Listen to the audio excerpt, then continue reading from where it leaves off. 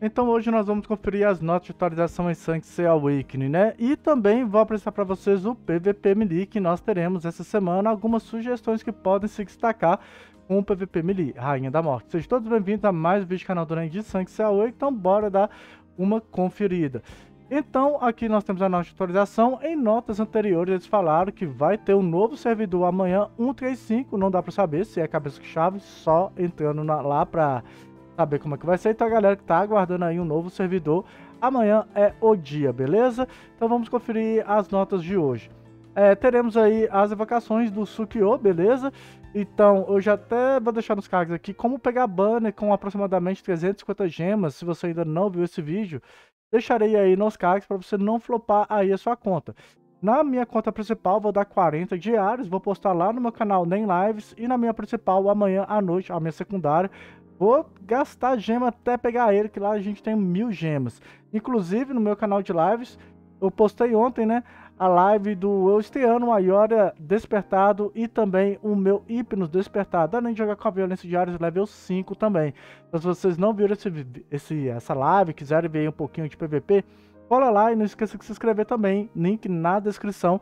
Eu vou deixar no comentário fixado também essa live aqui para vocês ver quem quiser ver um pouquinho de PVP do NEM, beleza? Voltando aqui, nós teremos o evento do Caçador de Tesouros, né? Que é o evento que a gente pega altos itens aleatórios, que deve vir aí upskill do Sukio, livro de habilidade, deve vir também a sua skin, talvez, né? Aqui não foi informado se vai ter skin do Sukio ou não. E também deve ter é, Cosmo SS duplo speed, né? Que muitos free to plays não pegam, mas é um evento que eu gosto, porque é um evento que você ganha muita recompensa em um minuto. Então, é, eu acho da hora mesmo a galera não curtindo. A Roda da Fortuna, é um evento meio meh, mas alguns pode, pode ter alguns meses aí que alguém pode ter mais sorte e um semestre sem sorte. É evento Pay para ter o volume de habilidade do Sukio, teremos o PVP Melee Rainha da Morte. É, que PVP Melee é esse, né?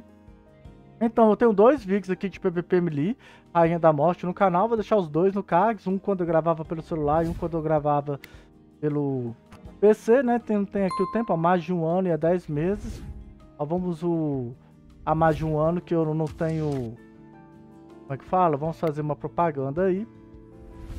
Há mais de um ano dá pra eu ver aqui a descrição não tá com a Khan, a inóspita, beleza. Ó. Neste modo de jogo, todos os cavaleiros terão 20% do seu PB deduzido no início de cada turno.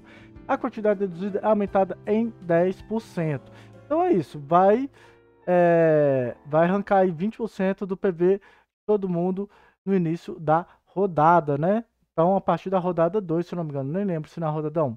Então agora nós vamos conferir que o próximo, que é o Desejo Renascer, que é a benção do renascimento do evento da Katia, onde a gente pode criar os nossos cosmos, e o julgamento Baurin, que é esse evento aqui que é, é provação de caçadas, como ficou em PTBR, que deve fechar hoje, né? Você está querendo alguma das recompensas daqui, eu acho o único interessante é a gema avançada aqui, que tem até hoje. Então aqui ele também teve é, minhas perguntas e minhas respostas. Como usamos os cupons de descontos do Bauer Trio? Eu não sei desse Trio é esse evento aqui, né, da aprovação de caçada, mas eles responderam o que? Os cupons de desconto obtidos podem ser usados em Trio 2 estágios mais tardes. É, por exemplo, cupons da primeira fase pode ser usado na terceira fase, cupons da segunda fase pode ser usado na quarta fase. Não entendi se, tipo assim, se você desbloqueia esses cupons, você pode utilizar aí até duas fases depois, por exemplo, aqui é a fase 3, vai poder usar na fase 4, fase 5. Eu não tenho certeza, tá?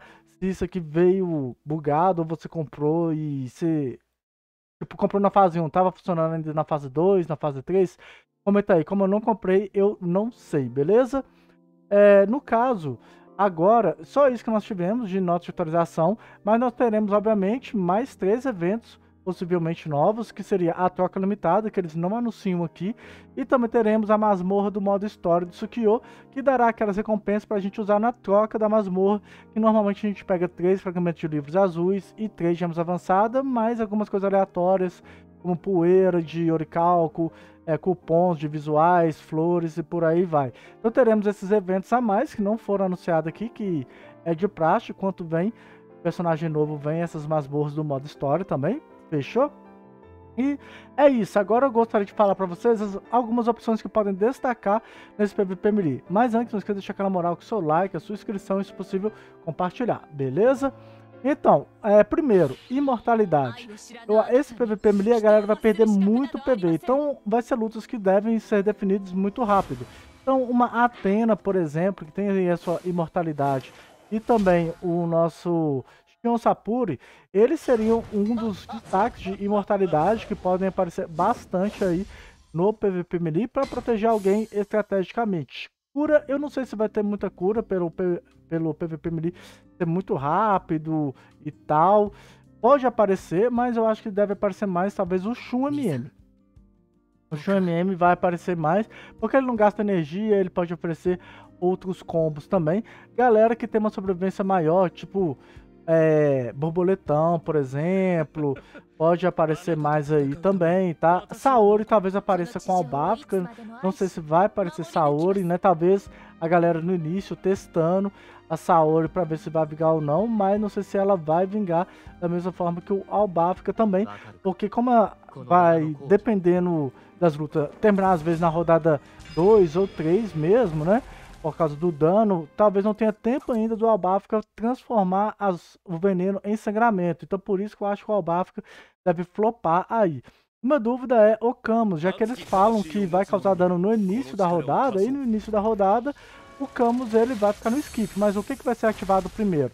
Vai ser ativado o skip do Camus, a cura do Shun, ou vai ser ativado o dano? Tipo assim, né? É, o dano vai vir antes da cura do Shun, o dano vai vir antes do Camus ativar o skip, se não, se o Camus ativar o skip primeiro e aí depois causar o dano, pô, vai ser da hora, né? Porque aí o Camus já vai causar mais dano. Lembrando que nesse sábado eu vou trazer o vídeo pra vocês, né? Eu flopando ou não, três lutinhas aí pra vocês, beleza? É, quem mais aqui que eu posso falar pra vocês que podem destacar o Shiryu Divino, caso ele seja desbugado, obviamente, né?